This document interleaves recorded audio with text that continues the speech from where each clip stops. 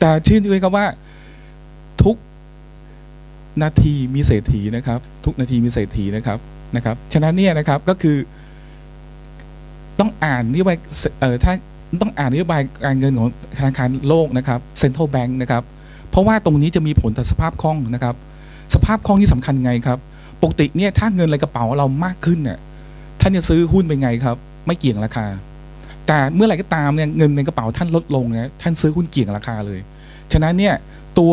ธนาคารกลางโลกเนี่ยจะเป็นตัวปั๊มเม็ดเงินออกมานะครับหนึ่งในสภาพคล่องดีขึ้น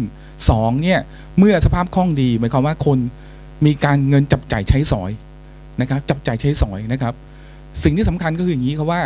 การอ่านสภาพคล่องเนี่ยสำคัญนะครับสำคัญนะครับเนโยบายการเงินนโยบายรัฐบาลท้องถิ่น สังเกตไหมครับว่านโยบายของธนาคารโลก global central bank มีอะไรครับ ท่านอ่านแค่สี่ประเทศเองนะครับหนึ่งอะไรครับ หนึ่งอเมริกา 2 ยูโร 3 จีน 4 ญี่ปุ่น อ่าน 4 ประเทศนี้เองนะครับนะครับ ถัดมาเนี่ยเนื่องไปรัฐบาลท้องถิ่นท่านต้องอ่านเออรัฐบาลไทยอยากโปรโมทอะไรนะครับ สังเกตนะครับมีครั้งหนึ่งเราโปรโมทอะไรครับ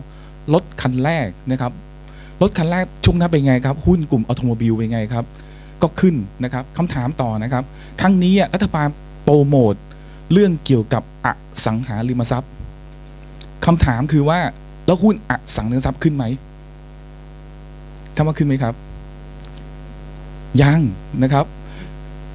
เพราะว่าทำไมครับ เพราะว่ามึงเออโปรโมทในช่วงที่ว่าหนี้ครัวเรือนเท่ากับ 86% GDP แล้ว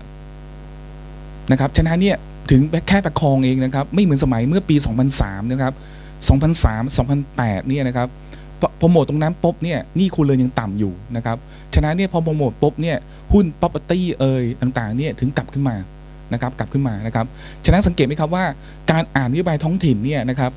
นะครับเป็นสิ่งสำคัญนะครับ หรือหรืออะไรครับก็คือรัฐบาลท้องถิ่นก็คือรัฐบาลไทยนะครับโปรโมทเรื่องอะไรครับอินฟราสตรักเจอร์นะครับหรือโปรโมท 4G นะครับต่างๆเนี่ยนะครับพวกนี้จะมีผลต่อราคาหุ้นหมดนะครับนะครับ ฉะนั้นเนี่ยนะครับการเติบโตนโยบายธนาคารการโลกนโยบายท้องถิ่นเนี่ยจะมีผลต่อกำไรนะครับ จากนั้นเนี่ยนะครับก็จะมีผลต่อราคาหุ้นนะครับกำไรมีผลต่ออะไรครับ คือ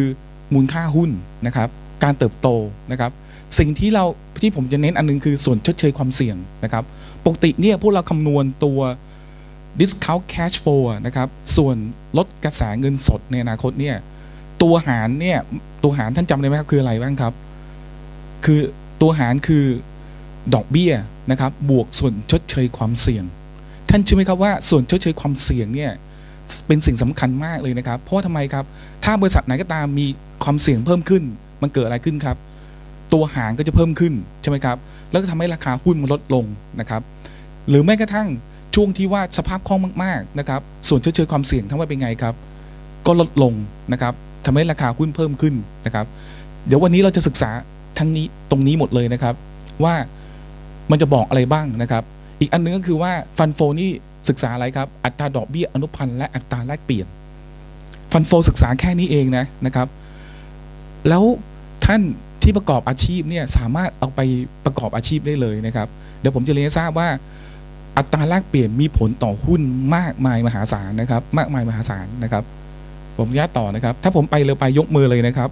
ถ้าเกิดพูดเสียงเบาไปท่านยกมือได้หมดนะครับ กันเองนะครับนะครับ จริงๆปกติเนี่ยเเวลาผมบรรยายเนี่ยชอบเดินนะครับ ชอบเดินนะครับนะครับ เพราะว่ากลัวท่านหลับนะครับ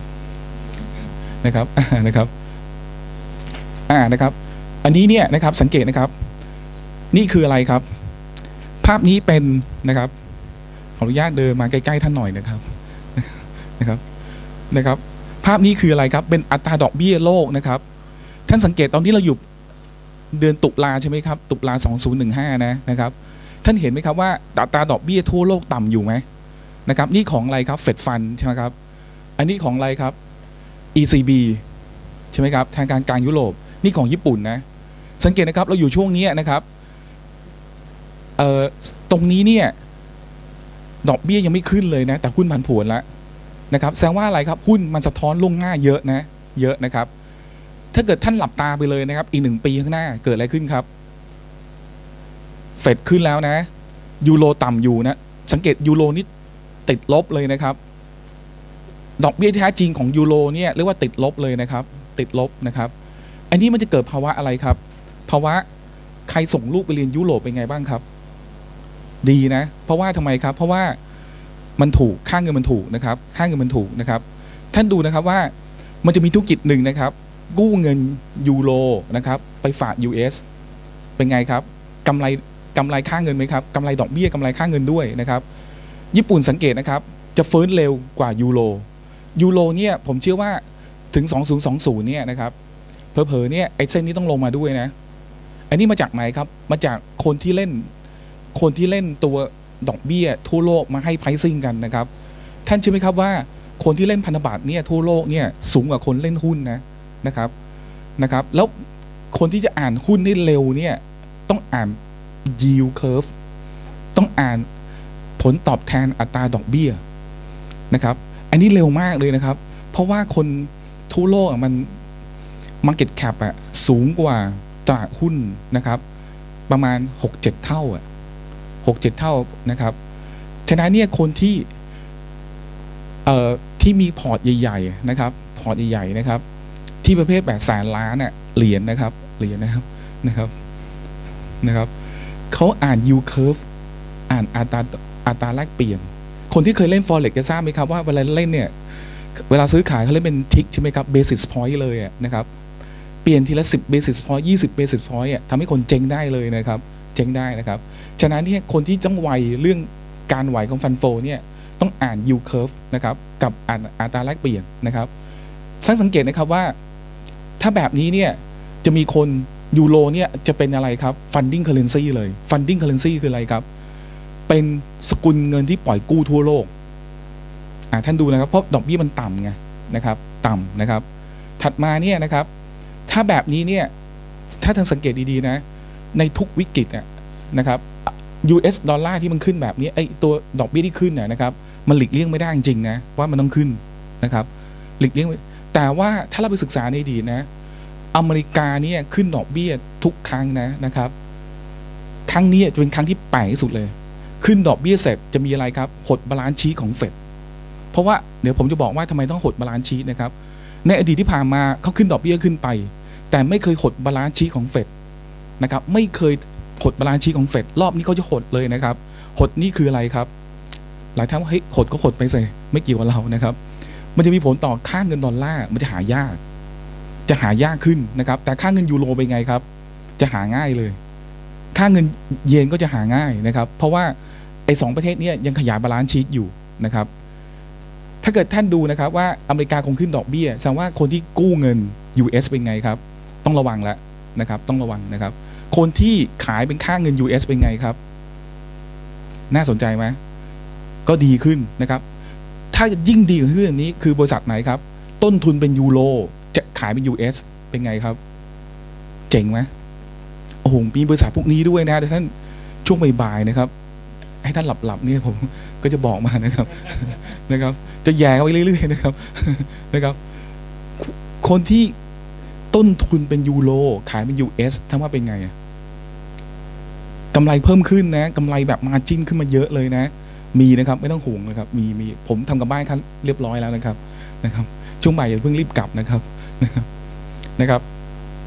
ถัดมาเนี่ยนะครับธุรกิจแบบนี้ที่อาศัยค่าเงินยูโรที่ต่ำนะครับ ท่านดูนะครับ แบบนี้มันมีธุรกิจบางธุรกิจที่ได้ประโยชน์จากพวกนี้นะครับ คืออะไรครับ ผมเคยพูดนะครับว่าอีกหน่อยเนี่ยเบนซ์ซีคลาสจะเท่าแคมรี่ นะครับเบนซ์ C-Class นะจะเข้า Camry นะครับถ้าไม่ถ้าไม่เท่าเนี่ยจะมีเบนซ์จะมีโปรโมชั่นเยอะมากเลยนะครับดอกเบี้ยศูนย์เปอร์เซ็นต์สี่ปี ตอนนี้มีแล้วใช่ไหมดอกเบี้ยศูนย์เปอร์เซ็นต์กี่ปีครับหกปีหกปีนะครับ มาแล้วนะ เพราะทำไมครับยูโรมันดอกเบี้ยต่ำไงฉะนั้นเนี่ยนะครับ ตัว automobile ของยูโรก็จะถูกลง จะถูกลงนะครับ อะไรที่มาจากยูโรมีอะไรบ้างครับ ถ้าเราเดาเล่นเล่นเล่นเล่นดู มีอะไรบ้างครับ ฉะนั้นสินค้าจากยูโรจะถูกนะ จะถูกลงนะครับ พวกพลังงานทางเลือกที่ใช้เทคโนโลยีของยูโรอ่านะครับ พวกนี้ราคาก็ถูกลง ไม่น่าเชื่อนะครับโซล่านะครับ มีคน quote มาแล้วนะนะครับหนึ่ง mega นะครับ เมื่อก่อน 60-70 ล้านนะ ตอนนี้เขาสามารถเขาบอกอย่างนี้เขาสร้างได้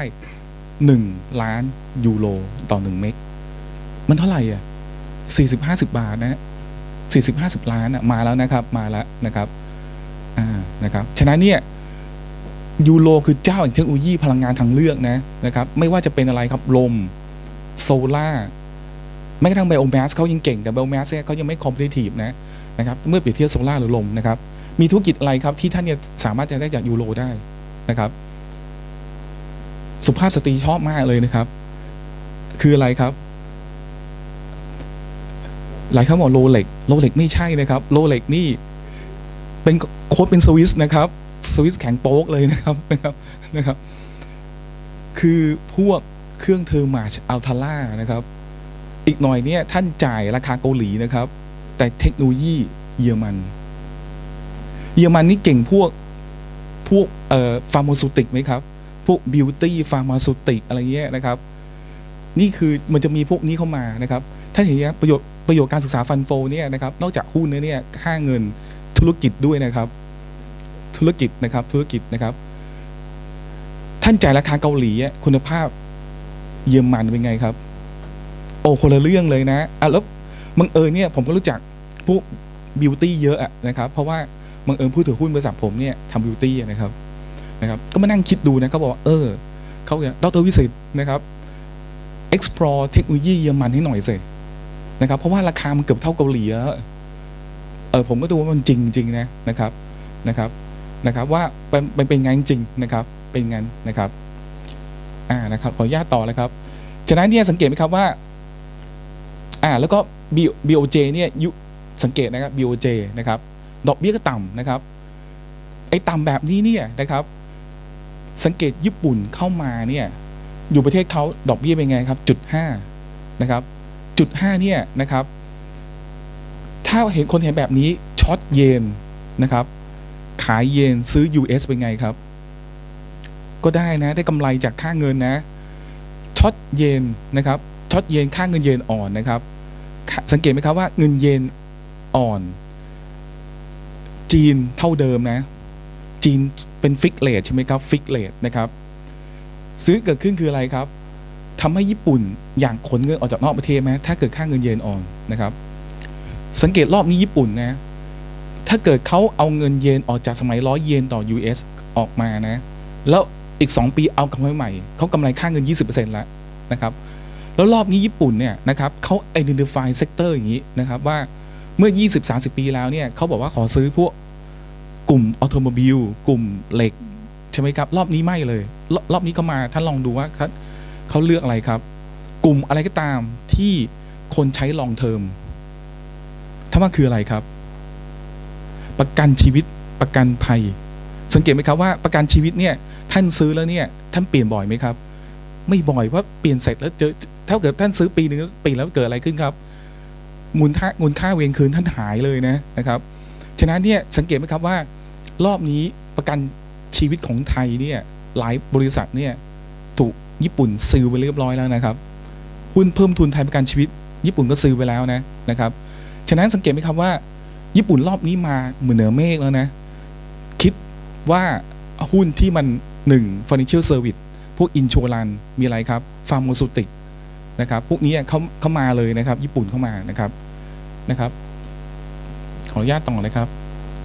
นะครับสังเกต US ดอลลาร์นะครับ US ดอลลาร์เนี่ยที่ผมบอกว่า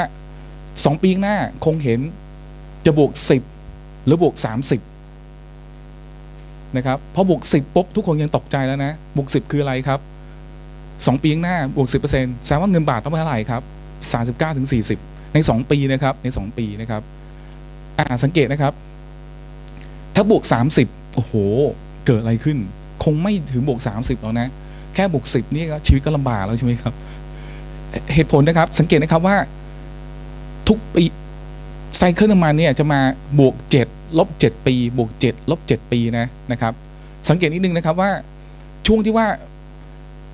หนึ่งเก้าเก้าสี่นะครับหนึ่งเก้าเก้าสี่นะครับ